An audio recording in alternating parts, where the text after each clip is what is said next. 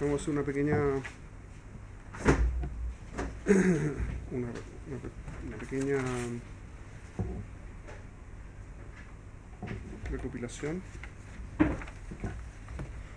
Dijimos que una persona, lo traje, el concepto lo traje en algún momento en otra clase, que es que eh, en Petijat Eliau, ¿se acuerda que lo hicimos en el último, último sí, el dibujito?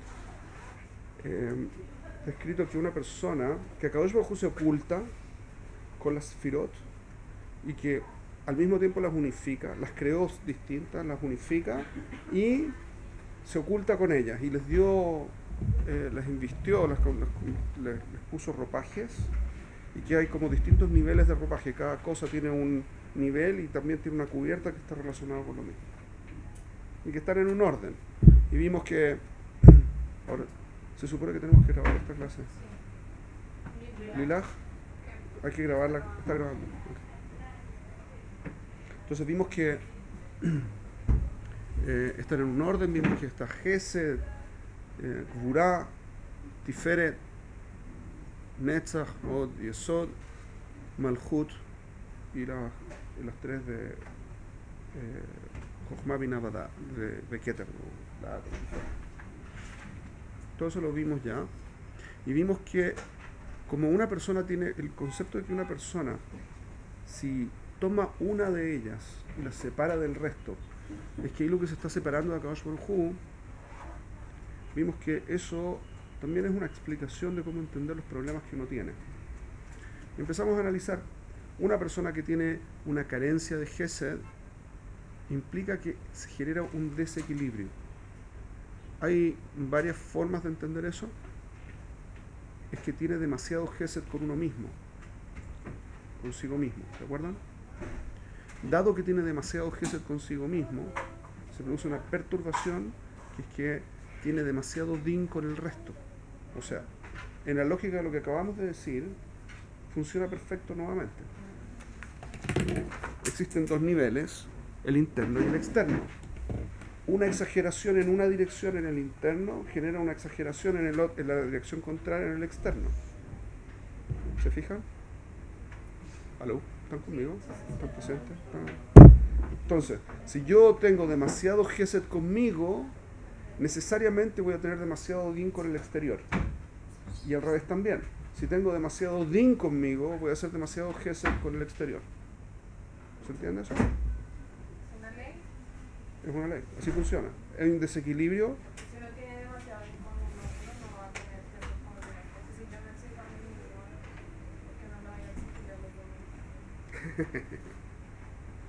porque cuando una persona tiene demasiado din con uno mismo y se exige mucho, su visión de lo que es din es la única que cuenta. Y eso no necesariamente es correcto. Entonces su visión tiene mucho gesed. En la Kabbalah, yo, mi visión es perfecta, expansiva. Quiero que la misma visión sea para todo el mundo. Y en ese sentido es gesed. La fuerza del gesed se convierte en gesed hacia el exterior si es que uno es demasiado din con uno mismo y si uno tiene demasiado gesed con uno mismo, mi visión es la correcta, entonces todo el mundo tiene que tener la misma, entonces se vuelve din con el resto. Como el resto no hace las cosas bien, como yo entiendo que tienen que hacerlo. Es un error normal, todo el mundo comete. Hoy en la mañana me pasó una cosa muy simpática que muy matimada con, con lo que estamos conversando. Fue a dejar a mi mujer y cuando salí delante mío había un, un furgón grande que no se veía al otro lado. Y tenía que tomar la calle, entonces miré para atrás, vi, no había nadie, era la calle, así que miré para atrás y empecé a moverme mientras miraba para atrás. Me doy vuelta y hay un israelí cruzando de detrás del camión. ¿Ok? Y me retó. ¿Por qué me retó? ¿Cómo puedes estar manejando mirando para atrás? Porque estoy entrando a la calle, necesito ver por dónde vienen los autos. ¿no? Yo le pregunté, ¿te fijaste que saliste detrás de un camión? Sí, pero tú no estabas mirando para adelante, tienes que mirar para adelante. Fíjense lo interesante. Yo sé que yo tengo la obligación de mirar para adelante, por eso miré y por eso lo vi, si no lo hubiese atropellado. Pero en mi visión, puede ser, yo cometí el error de no mirar suficientemente rápido, puede ser. En su visión, su visión es la correcta. Solo él tiene razón, yo lo hice mal, él no. Y su visión es que en el mejor de los casos, si él salió detrás del bus en un lugar donde no hay eh, paso, está prohibido pasar por donde pasó, de todas maneras eso no justifica el hecho que yo no estaba mirando para adelante, independiente del hecho que yo estaba saliendo a tomar la calle. Fíjense, mi visión es la única que importa. Es expansiva, tú tendrías que tener la misma. Si no tienes la misma, eres malo, tú eres el malo. El concepto de mi gesed conmigo mismo es expansivo. Mi visión es la única que cuenta. Entonces el otro puede ser que tenga razón. No digo que no. Puede ser. En algún nivel probablemente tiene razón. Pero el equilibrio no está claro. ¿Se entiende el punto? Cuando hay un equilibrio perfecto, se produce armonía entre el Gesed y el y eso, en el fondo, eh, se manifiesta como belleza. Vimos una persona que actúa mal, entonces no se ve bien lo que hace, no es bonito lo que hizo. Y de hecho uno usa esa expresión, no es lindo lo que hiciste. ¿Mejor? ¿Por qué? Porque no hay equilibrio entre el juicio y la bondad, no hay equilibrio. Entonces, no funciona. Lo interesante ahora es cómo utilizar eso para hacer el hashbon. ¿Qué tengo que hacer? ¿Qué es lo que tengo que hacer cuando tengo una carencia de Gesed? Es decir, cuando mi Gesed lo tengo enfocado a mi interior.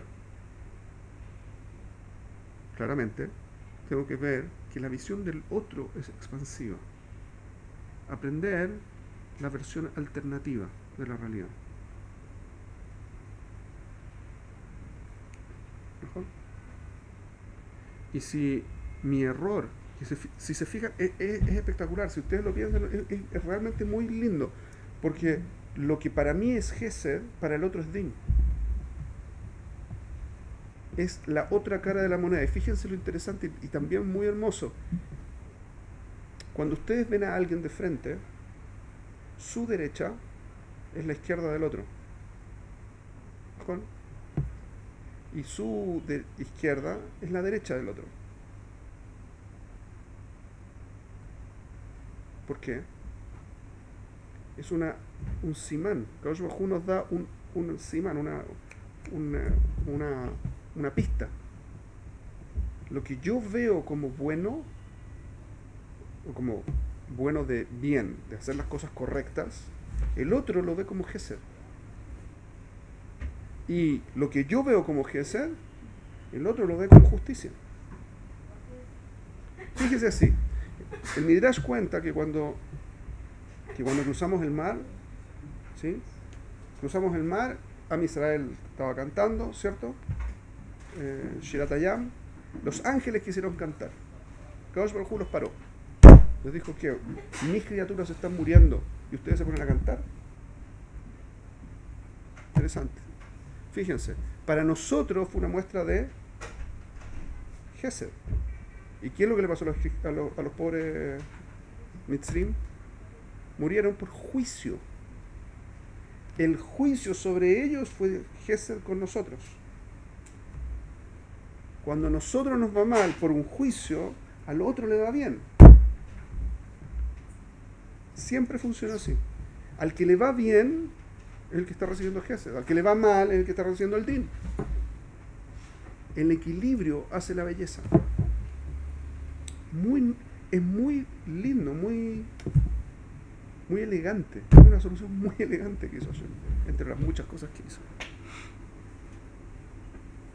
Entonces, el tikkun es siempre invertir el, flujo de lo que estoy haciendo hasta generar belleza. ¿Ok? Ese es el primer paso. ¿Qué pasa ahora con las siguientes tres sfirot? La siguiente es Netzach. Netzach significa victoria o gloria o, eh, o eternidad. Depende de donde la vean, van a ver que las traducciones son o eternidad o victoria. ¿Qué significa el concepto? Cuando una persona quiere lograr algo, la imagen, la idea que tiene es tomar esto y proyectarlo. Eso es Gesed. ¿Ok? Una vez que se enfrenta con la realidad, la persona tiene que cambiar la forma en que está para lograr lo que a nivel de Gesed se manifestó y que lo coordinó y lo estructuró con el DIN y que llegó a que fuera armónico como, como proyecto, a continuación lo que tiene que hacer es ejecutarlo. En la ejecución siempre hay que cambiar el plan, siempre, porque la realidad no es perfecta y porque, o es perfecta pero desde otro lado, nunca incorporo todos todas las variables que tengo que incorporar. Entonces siempre tengo que tener un proceso de, de reenfoque del proyecto, de lo que sea que quiero hacer, para que la cosa se pueda ejecutar. Esto estamos hablando de Netza. Porque lo que tengo que tener en mente es la victoria. Y para tener en mente la victoria, quiero proyectar lo que estoy haciendo ad eternum, para siempre. La victoria de una idea es que exista permanentemente.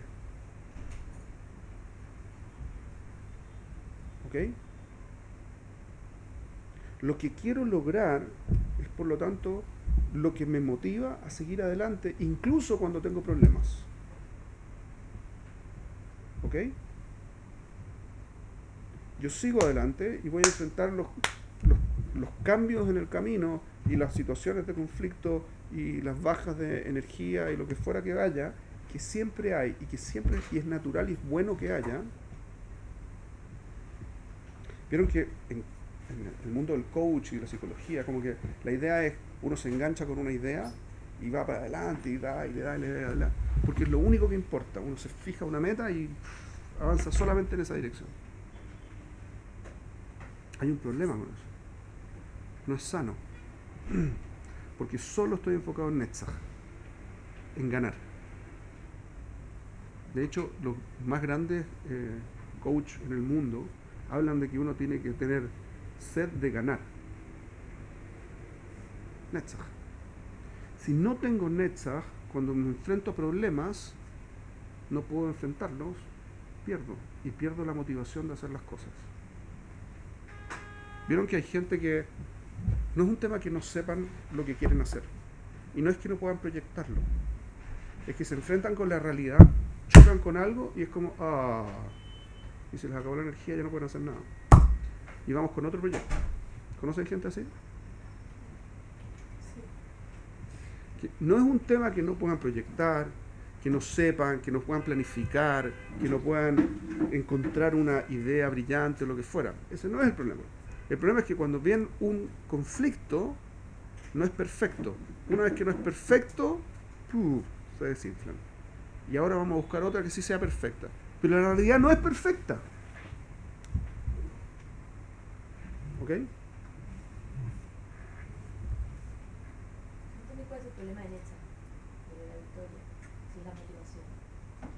El problema que se presenta cuando una persona tiene carencia de Netzach es que no puede enfrentar conflictos, no puede enfrentar una situación de una barrera, porque no es perfecto. Yo tenía un plan, el plan era perfecto. Me enfrento con una situación que no estaba planificada, no sirve.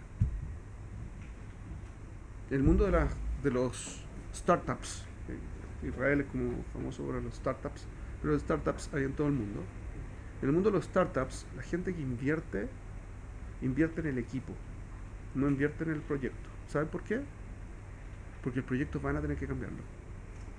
Y solo si la gente tiene fuerza para enfrentar el cambio, vale la pena invertir. Porque cualquier cosa que no sea gente que es capaz de hacer un cambio, no va a poder replanificarse cuando vea que el plan original no funcionó. Y como el plan original, la probabilidad de que funcione es muy baja, invertir en un proyecto que tiene un plan y gente rígida que no puede cambiarlo, la probabilidad de que ganen es cero. O muy, muy, muy, muy baja. Podría ser un golazo, pero tendría que ser muy, muy grande. Sí. Cuando ah, estas 10 pilotos están en todas las personas, ¿no? pero Sí. eh, ¿se encuentran las 10 dentro o es como que puedes definir En una todo persona como esta persona es? No. Todos tenemos de todo y todos tenemos manifestaciones que son de Netzach, por ejemplo, en un área y en otra área no. En áreas en las que tenemos confianza en uno mismo y que está claro y que estamos dispuestos a enfrentar la cosa, en, esas, en esa área mane- nos manejamos bien. Pero hay otra área en la que tenemos más inseguridad, por ejemplo, o somos más rígidos, intransigentes o lo que fuera, entonces no tenemos esa característica en esa otra área. ¿Y las 10 son buenas? Las 10 son perfectas, pero solo cuando están juntas. Eso es video lo que dice Petjat Eliyahu. Si yo separo una del resto, se llama que me estoy separando a Kadosh Baruj Hu, la Kavanah, me estoy separando de la perfección. ¿Ok? ¿Qué Así que- Eliyahu es una, es una es del Zohar, efectivamente, es del Zohar. Eh, es del principio del Zohar, creo. Eh, está en el, Sef- en, en el eh, Seder de Tefilot en, eh, en el mundo sefaradí. ¿Es como un anexo al Zohar? ¿Un comentario? Está en el Zohar y creo que también está en Tikunea Zohar.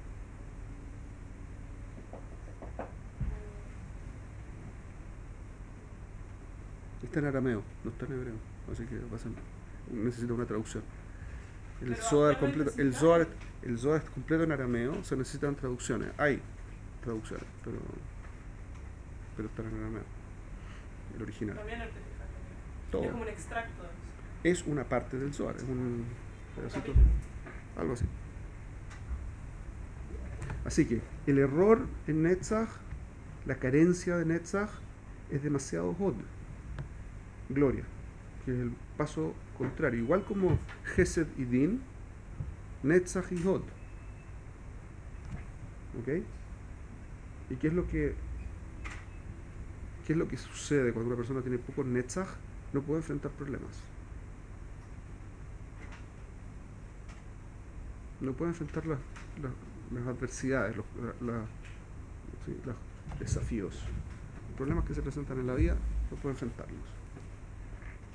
Y como le, repi- le- le decía a Lina hace poco, hace poco, en áreas una persona puede tener mucho y en otra área no tener nada.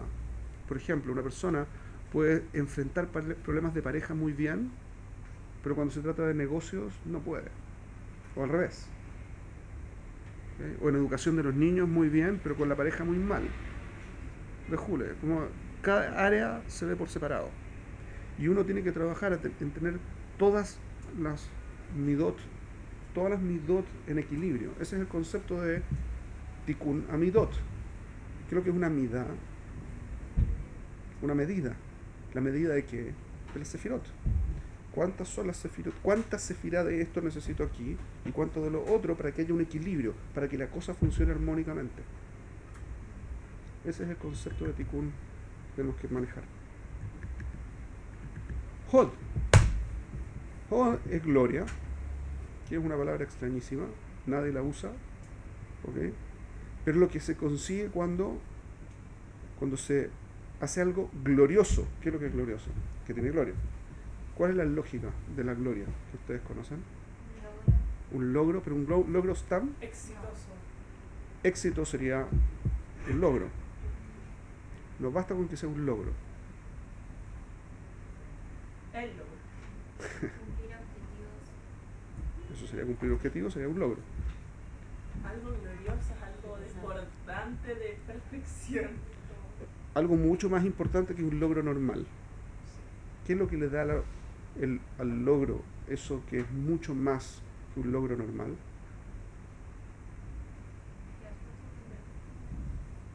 que es trascendente. Trascendente respecto de mí. Ese es el concepto de Hod. Por eso una persona, un, un ¿cierto? típicas glorias militares, ¿cuál es la, la lógica de una gloria militar? Que aparece en todos los países del mundo ahí, gloriosos, lo que fuera. Son gente que sacrificándose lograron hacer algo en nombre de un bien mayor, la patria. Pero entonces no fueron trascendentes para ellos. No, es justamente trascendente a ellos, no para ellos. Trasciende a ellos. Y por eso se llaman héroes. Los héroes son gloriosos. Porque lo que hacen trasciende a ellos mismos. Ellos no cuentan. Puede ser que no esté la, la lógica involucrada. Sí está la lógica involucrada. Pero volviendo a lo que estábamos diciendo en la clase anterior, ahí en el tema del equilibrio, de- fíjense, es más importante el objetivo que la subsistencia. Es más importante lo exterior que lo interior. Fíjense lo que sucede con una célula, eh, un glóbulo blanco. El glóbulo blanco es una, los linfocitos son, son células que van y se comen a los, a los agentes y, les- y al interior secretan agua oxigenada. ¿sí? Y como secretan agua oxigenada, oxidan a los agentes y los destruyen. En el proceso se mueren. Entonces la función del glóbulo blanco es morirse. Pero producto de que se muere, salva el sistema. Ese es el concepto de gloria. Por algo trascendente al, aquel que lo hace, se logra aquello que se quería en principio. Aquí corresponde este, este punto en la personalidad de un ser humano. Por favor. Es trascendente la persona, Ujú. porque esa persona tiene ciertos ideales que hacen que eso Porque sea persigue los ideales, no a la persona. La persona queda al lado en el Heshbon. Como nos in- Se anula es- como- se anula. El concepto de humildad que nosotros estudiamos en... Ese es el concepto de gloria. Humildad. La persona es humilde porque no es parte del Heshbon, de la, del análisis. Lo que le conviene o le deja de convenir es irrelevante. Y fíjense que es Bidyuk el opuesto a Netzach. En Netzach yo tengo un objetivo y independiente, eh, independiente de cómo se manifieste la realidad, voy adelante y con todo hasta que lo logro. Eso es Netzach. En Hod, mi objetivo hace que lo que yo quiera sea irrelevante. Entonces, ¿dónde está el equilibrio? En el Yesod. ¿Cuál es mi objetivo?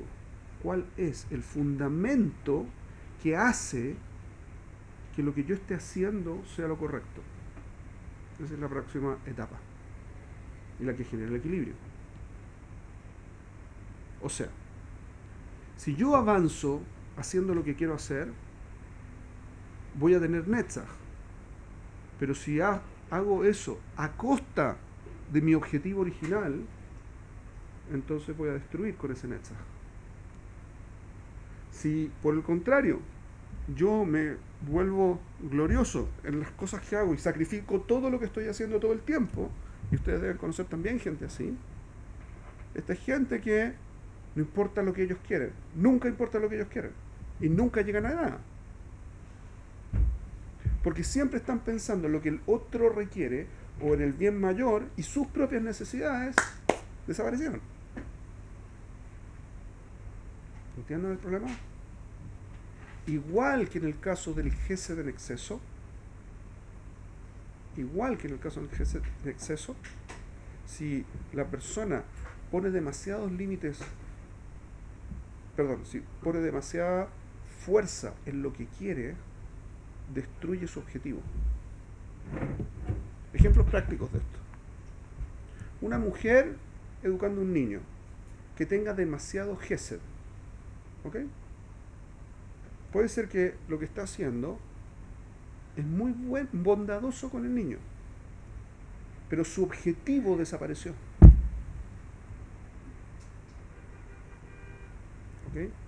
Ahora, enfrenta, este es un niño que tiene problemas y la, mamá se preocupa de ayudar al niño, ayudar al niño, ayudar al- lo ayuda hasta los 30 años. ¿Qué le pasa al niño? Es un niño de 30 años. ¿Qué es lo que le pasó a la mamá?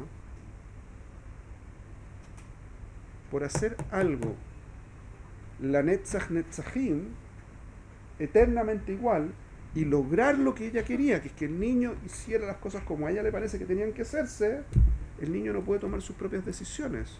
Así que se mantiene siendo un niño porque ella no se pudo controlar pensando en el objetivo mayor.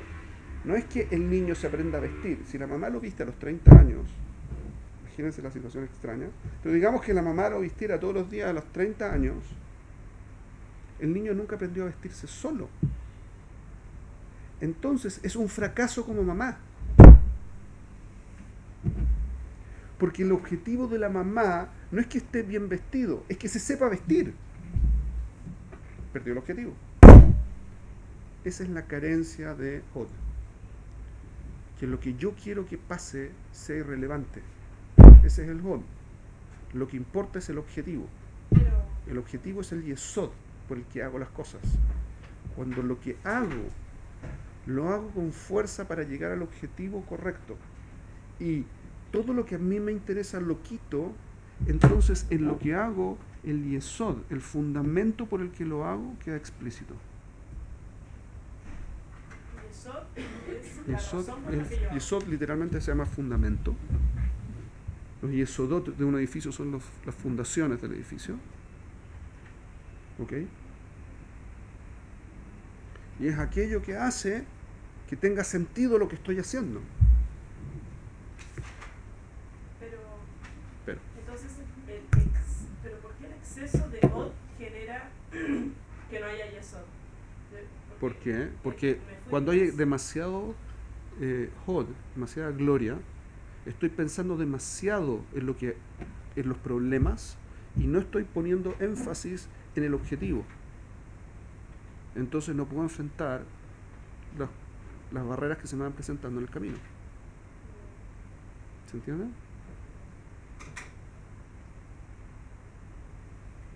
¿Se entiende ese problema? Entonces, esta es una persona que quiere hacer un negocio, pero no sabe nada del negocio. ¿ok? Quiere ganar plata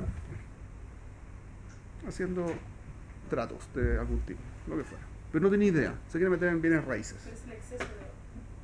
Eso es de exceso. Lo que usted me preguntó es el problema del exceso de Vamos a un, un ejemplo práctico. Otro. Esta es una persona que quiere ser conocido como un excelente eh, vendedor de bienes raíces. ¿Ok? No conoce nada del mundo de las bienes raíces, así que en su carrera, por ser un excelente vendedor de bienes raíces, se mete a estudiar, se mete en internet, saca libros, etcétera.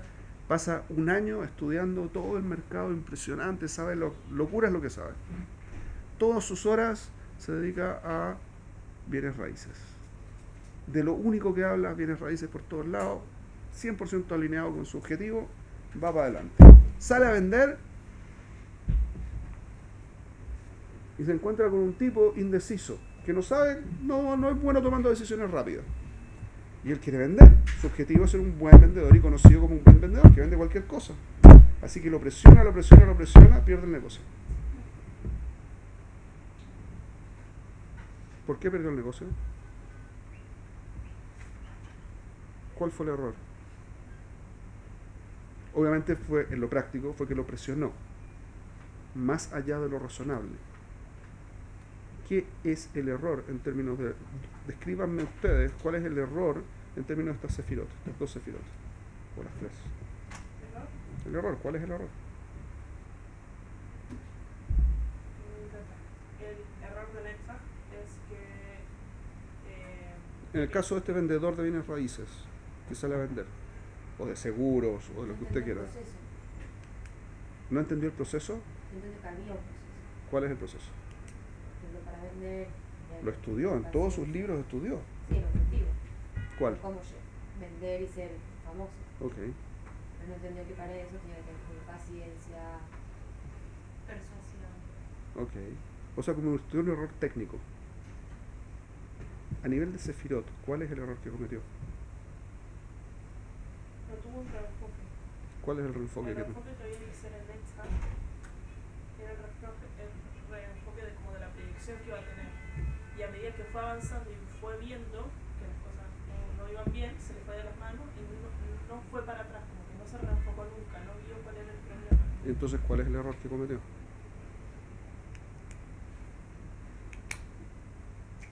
¿Qué es lo que tiene en exceso y qué es lo que le falta? Tuvo un exceso de or, no, lo que generó un anulamiento del yesod. Un exceso de Ajá. Biduk Afuj. Tuvo un exceso de Netzach, porque lo que quería lograr en su visión avanzó y avanzó y avanzó y avanzó y avanzó. Se le olvidó que el objetivo de ser un, el concepto de ser un buen vendedor es que logra que el otro se sienta cómodo y pueda hacer la compra.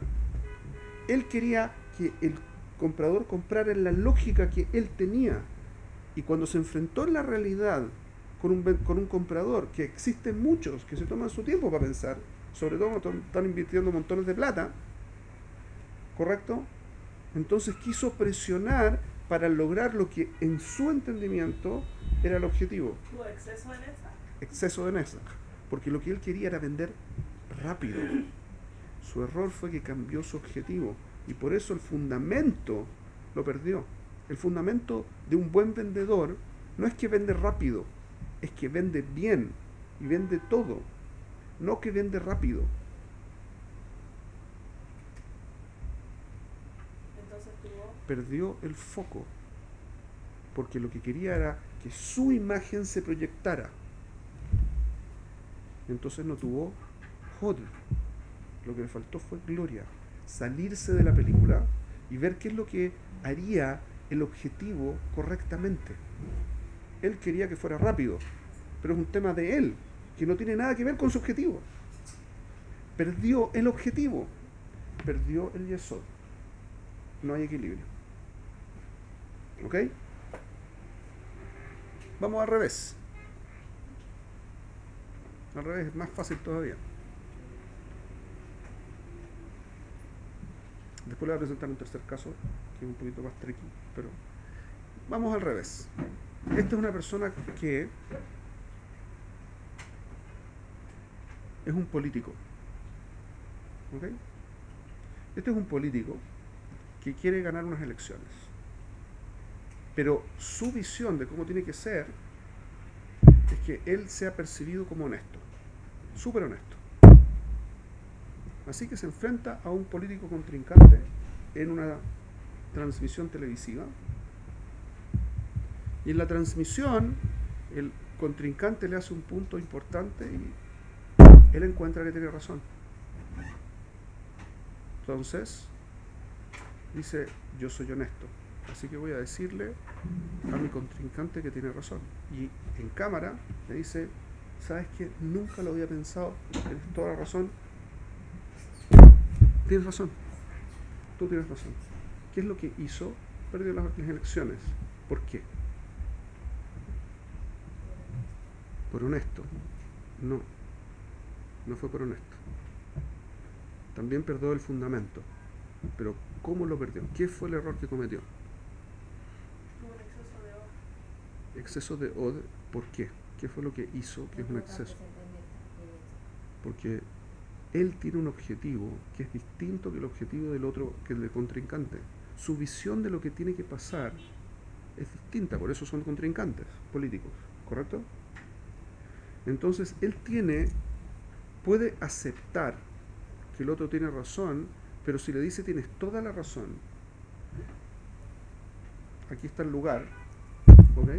En el fondo su objetivo trasciende al hecho que en este punto en particular el otro tenga razón, ¿correcto? Porque en este caso puede ser que tenga razón y en otros 25 casos no.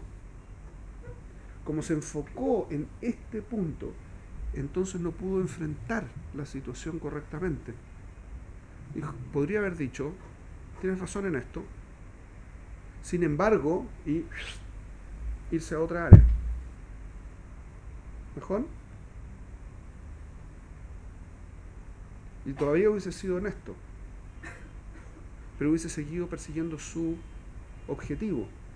En el momento en que le dice sí y tienes toda la razón, no tengo nada que decirte, en el fondo le está dando el espacio completo, no solamente en esta área, en todas las áreas.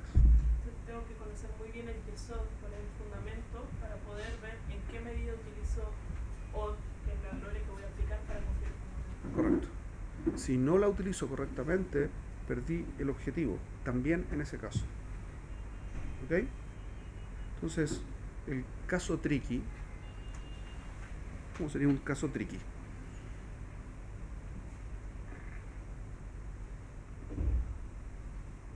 Uy, se me había ocurrido un caso muy bueno, ahora no me acuerdo.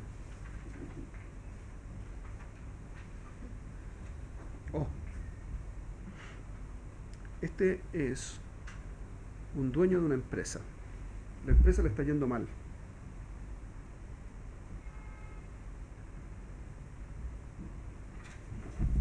Y hace una evaluación económica y descubre que no hay buenas perspectivas de la empresa. Así como va, va a quebrar. ¿Qué es lo que hace? Apuesta por la empresa a hacer algún tipo de cambio. No sabe cuál, va a hacer algún tipo de cambio.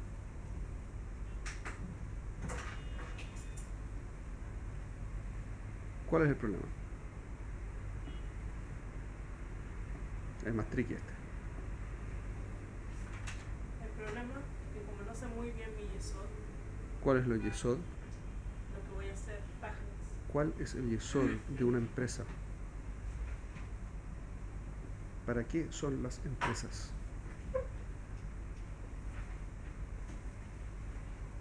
Para ganar plata. ¿Mm? Para el, el dueño para ganar plata. Correcto. Si la persona pierde de vista eso, entonces perdió de vista su foco. Si pierde de vista el foco, si pierde de vista el foco, no hay vuelta. Va a destruir la empresa. Esto es lo que se llama, en, economía se llama costos hundidos o costos históricos. Una persona, si invierte en una empresa que va yéndole mal, a sabiendas de que en principio tendría que ir peor la empresa en el tiempo, lo que está haciendo es quemar su capital. Lo más razonable que tiene que hacer es cerrar la empresa y abrir otra que funcione bien. Pero perdió de vista el foco, que es ganar dinero, por el hecho de salvar la empresa. El foco ahora ya no es ganar plata, es salvar la empresa. Sí hace un buen plan, puede ser que funcione, pero está poniendo todo en riesgo en vez de hacer una- un cierre sano de la empresa y a montar otra que funcione bien. ¿Ok?